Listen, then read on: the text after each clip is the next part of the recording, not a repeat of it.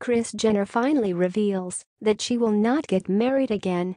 In case you were holding your breath for a Kris Jenner wedding special, don't count on it, because she's already been through enough drama in her past to walk down the aisle for a third time. The Kardashian matriarch was on Hollywood divorce queen Laura Wasser's new podcast, Divorce Sucks, and was asked by the attorney straight up if she'll ever get married again. Jenner hesitates at first, but then is pretty clear that it's just not what I think I need to do again based on my past. The reality star was first married to Robert Kardashian, the famed defense attorney for O.J. Simpson, and brought Kourtney, Khloe, Kim, and Rob into the world before divorcing in 1991. She was married to Bruce Jenner a month after her divorce, which resulted in Kylie and Kendall Jenner.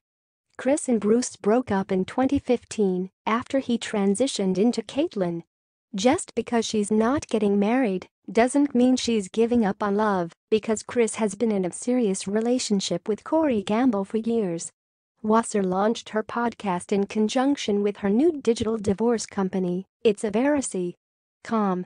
She's made it super simple to file for divorce and navigate the daunting legal hurdles. Plus, in a town where divorce happens more often than landing a hit show, she's bound to make a killing. Kris Jenner's episode comes out Monday and will be available for download at iTunes.